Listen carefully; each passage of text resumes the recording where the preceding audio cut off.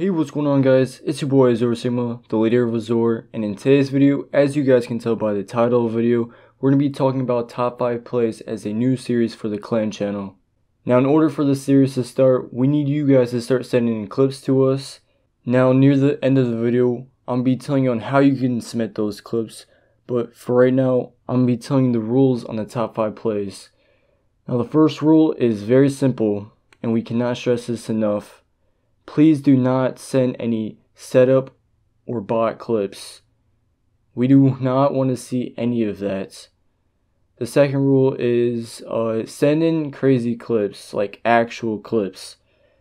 For the past two months for the recruitment, we've been getting like one kill like clips, and most of you guys don't even know what a clip is. So like, you guys need to you know YouTube that shit or something and just send us insane stuff. Now that we got all of that out of the way, I'm gonna be telling you on how you can submit them. So for the clan website, we got a new tab and it's called Top 5 Plays. Alright, if you go to it, all you have to do is put your YouTube link to the video, not your YouTube channel, to the video, and make sure it's good quality. But I'm hoping every single Saturday we'll do this series uh, just start sending your clips. Hopefully, you guys can make it.